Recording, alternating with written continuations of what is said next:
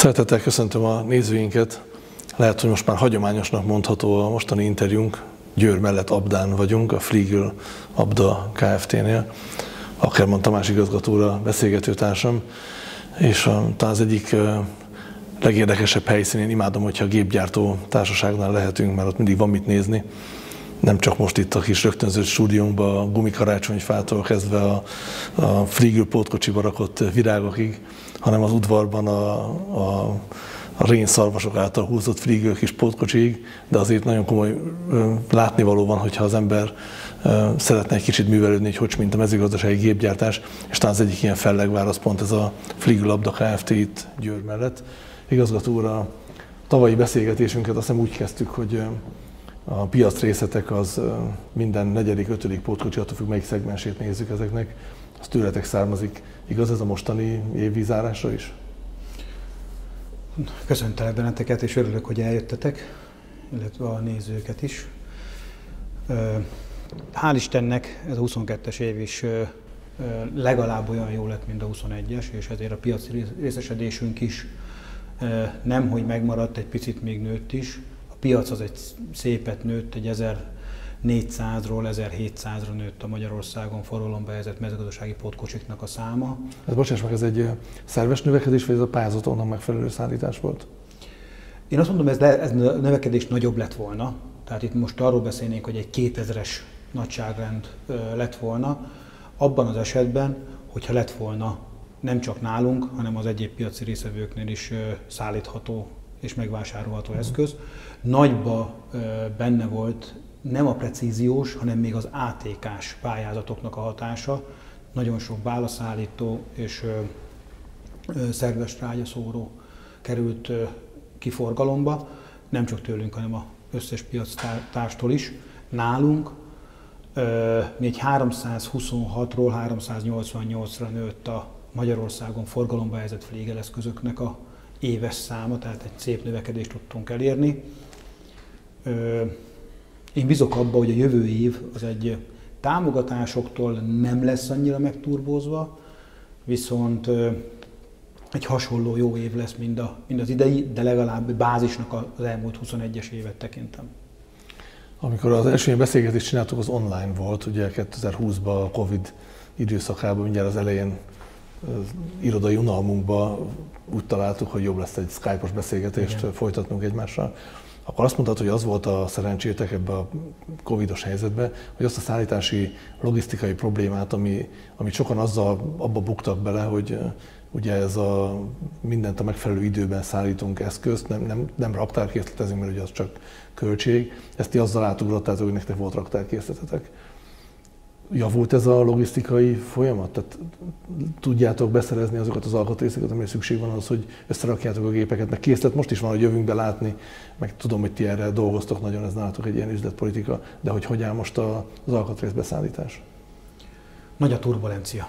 Tehát sajnos azt kell, hogy mondjam, hogy az alkatrészeinknek a zöme, ami vásárolt tétel, az a világ szerte összes tájékáról jön. Hiába veszünk például hajtóműveket a trágyaszóróinkhoz olasz beszállítótól. Az olasz beszállítónknak a, egy beszállítója, például a hajtóműveknek a háza, az Ázsiából jön, és egyszerűen azt nem tudja beszerezni.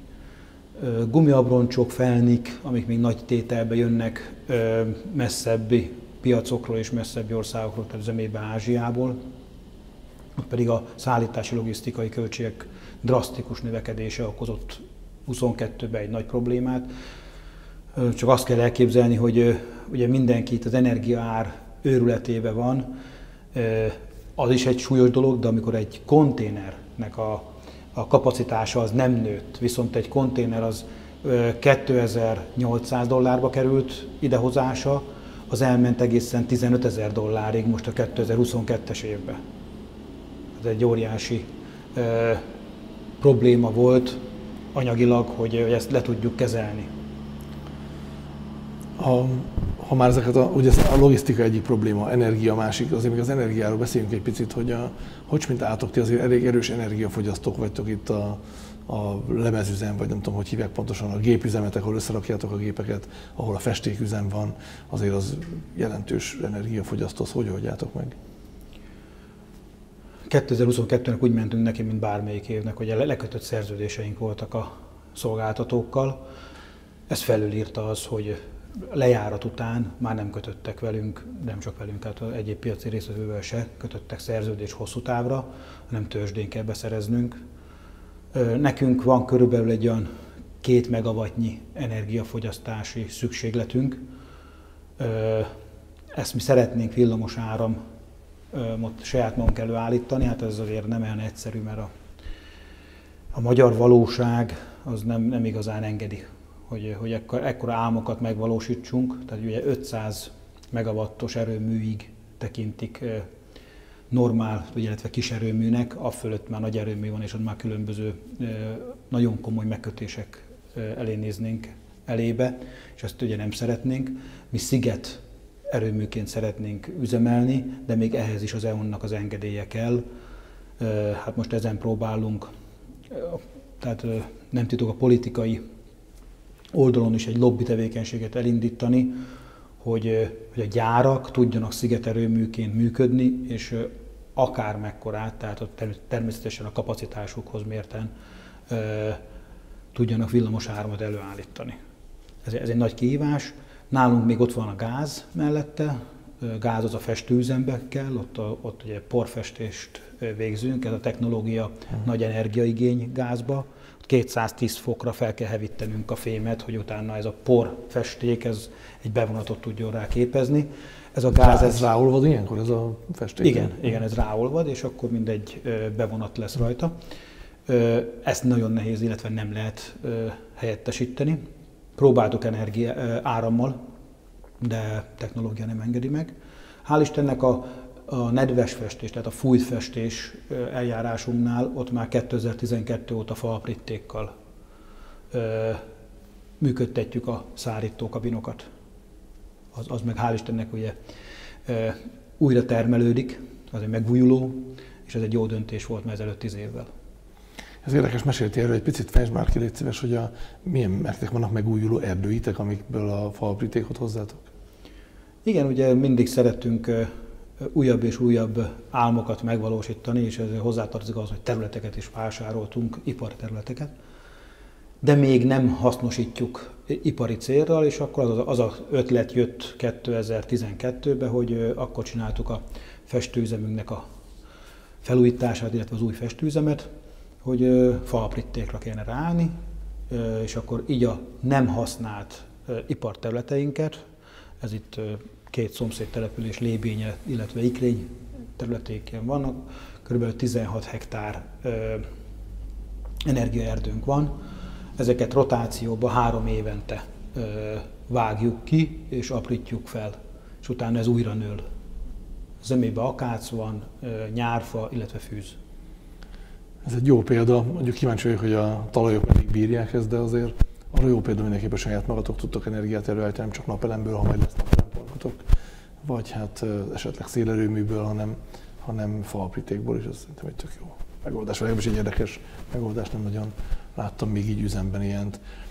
Beszéltünk logisztikáról, energiáról, mi volt még az, ami mondjuk 2022-ben a, a, a, abba a zsebedben van, amit nem szívesen nyitogatsz? Hát 2022-ben azért olyan problémák is voltak, hogy maga a szállítások. Tehát kereskedőink berendelték a pótkocsikat, tehát az ő árukészleteiket. Mi ezt azért a lehetőségeinkhez mérten tudtuk csak kiszolgálni, ezért azért voltak benne csúszások. Én bizok abban, hogy ez 23-ba már normalizálódni fog, de azt kell, hogy mondjam, hogy ez csak sajnos a második fél évben 2022 nyarán, ha valaki megkérdezte volna, milyen lesz 23 akkor azt mondtam volna, hogy ah, normális. De így, hogy most már itt vagyunk a küszöbön, a 23-as küszöbön, hogy azt kell, mondjam, hogy az első fél év az még eléggé homályos. Már ami a szállításokat illeti? Ami a szállításokat illeti.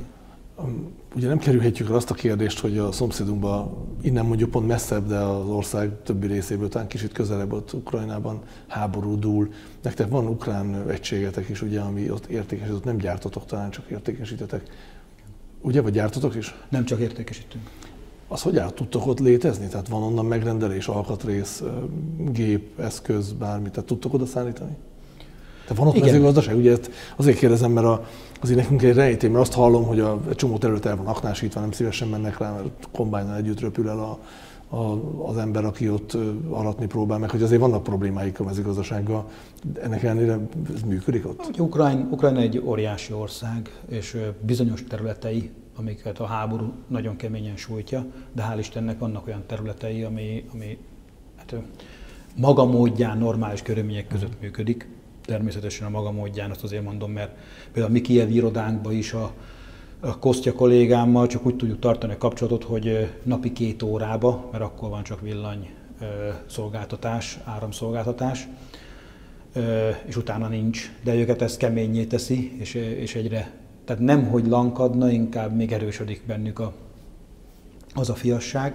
Uh-huh. És a mezőgazdaságban igen, dolgoznak az emberek, termelnek, két hete ciklusba alkatrészeket is szállítunk a régi uh-huh. eszközökhöz, illetve új eszközöket is szállítottunk most az elmúlt napokban, hónapokban is, tehát van folyamatosan megrendelés. Él, él a mezőgazdaság, működik. Hát ez egy jó példa sajnos, hogy akár mekkora a baj, baj óriási tud lenni, a mezőgazdaságra mindig szükség van. Tehát élelmiszerre, élelmiszer ellátáshoz, élelmiszer előállításhoz, alapanyagra mindig szükség van, és az iparok, iparágak leálltak, tehát akár egy autóipari beszállítók, ugye lehet hallani, a kábelgyárak nem működnek, vagy akár maga az autóipar, vagy egyéb iparok leálltak, nincsenek dolgozók, nincsen működtetés, nincs villany, nincs áramszolgáltatás. A mezőgazdaság az viszont működik, és úgy, ahogy annak idején a Covid-ba mi azt mondtuk, hogy a, hogy a karantén az a, az a fülke, az a traktor fülkéje a mezőgazdaságba, így itt sem tudnak más csinálni a mezőgazdasági dolgozók, mint az, hogy igenis termelni kell és dolgozni kell. Nézzük meg azt a másik zsebet, ha már egy zsebedbe turkálhatok, hogy az egyik volt, amit kevésbé nyitogatunk. A másikban, amit örömmel nyitogatunk és belenézünk, hogy ott mi minden volt, ott, ott mit látunk. Tehát mi volt az, ami örömteli hír volt 2022-ben nektek? Örül, örültünk annak, hogy a Covid az, hál' Istennek már nem, nem olyan szinten korlátoz minket, mint olyan szinten korlátozott két éven keresztül. Örülünk annak, hogy kiállításokra bátran lehetett készülni, és nagyon jó, sikeres kiállításokat tudhatunk azért az elmúlt évben, és most az 22-es évben magunk mögött. És ami egy, azt mondom, hogy nagy öröm, hogy maga a gyár életében is sok minden azért történik. Beruházásaink nem álltak le, a beruházásokhoz anyagi forrásaink megvannak, mert a gyárnak a kapacitása az nőtt, dolgozói létszámunk nőtt, tehát lehet, hogy már lehet érezni, hogy ilyen-olyan gazdasági zsugorodások előszele megjelent. Hál' Istennek a mezőgazdasági gépgyártásban ez nem érezhető. És tehát mi tehát két számjegyű növekedéseket tudhatunk magunk, magunk mögött akkor, hogyha 2021-ben 1500-1600 darab pótkocsit gyártottunk le, most 2022-ben 1800 felett fogunk legyártani, tehát közel a 2000-hez. Dolgozói létszámunk az 10%-kal nőtt, hál' Istennek vannak diákjaink, tehát 10 diákunk van, akik itt a iskola mellett itt dolgoznak nálunk, és tanulják a szakmát, és ezért a jövőt mi úgy várjuk, hogy felkészülten, és reméljük, hogy fiatal és friss vérrel. Optimistán. Optimistán. Mi az, ami még érdekes itt nálatok? Volt valami olyan új terméketek, amire azt mondod, hogy jó volt mellette dönteni, bevezettétek? Ha most hosszú távra visszamegyek, az egyértelműen a válaszállító, hogy az annak idején nagyon jó volt, hogy elkezdtük gyártani. Ez a saját ötlet volt, nem azt mondhatod, hogy Igen, nem. igen, ez egy mondjuk úgy, hogy saját ötlet, de hát nem volt akkor a know-how benne, hogy, hogy erre akkor a büszkének kell lenni, de meglepő módon egy válaszállítóra óriási szükség van, és a mai napig csak itt az országban száznál több kerül gazdához. És ami nálunk kis egy kihívás volt, ez a trágyakezelés. Tehát ezzel az energia ár robbanással ott a mezőgazdaságban termelők ezt nagyon érezték a műtrágya áraknak a drasztikus emelés, emelkedésével, és egyre jobban a szerves trágya felértékelődik és ugye a hiktrágya, mint a istáló trágya értékesebb lesz, és ennek a kiuttatása az egyre fontosabb. a mi fejlesztési céljaink, és az elmúlt fél év is már erről szólt, és ezt, ezt emeltük ki az Eurotéren Hanoverbe idén november elején, egy nagy világszintű kiállításon, hogy a hiktrágyát igenis lehet hatékonyan kiuttatni, és úgy kiuttatni, hogy a lehető legtöbb tápanyag az benn maradjon a földbe. Ez lesz a jövő év slágere is, tehát a jövő évi értékesítést vagy kommunikációt erre fogjátok helyezni, erre a tápanyag visszapótlásra? Mindenféleképpen, tehát ebbe hiszünk, hogy, hogy ez, ez az, ami most a következő időszakban a mezőgazdaságban óriási fejlődésen fog átmenni. És jövő év, tehát 2023-ban, az mit ad Isten pont 30 évvel ezelőtt, 1993-ban jött a Fliegel család abdára, és alapította meg a Fliegel Labda Gépgyártó Kft-t, tehát 30 évesek leszünk, és a 30 éves évfordul apropóján fogunk itt Abdán egy szakmai rendezvényt szervezni, és ennek is a fő bemutató, bemutatandó gépei, gépsorai között lesznek ott a hiktrágyakezelés, hiktrágya kiutatás, illetve a szerves trágya. Egy picit nézzünk kitekintőbe, ugye te csomó országban vagy felelős azért, hogy ott a Fligel gyártás és értékesítés működjön. Hogy látod, melyik országban vannak jobban előre haladva a mezőgazdaságban, és hol van inkább valamilyen stop, ami a rendszerben, rendszerben van? Hát a stoppot azt sajnos azt előbb tudom mondani, mert az minket is nagyon komolyan érint, ez főleg a szlovák, illetve a horvát piac.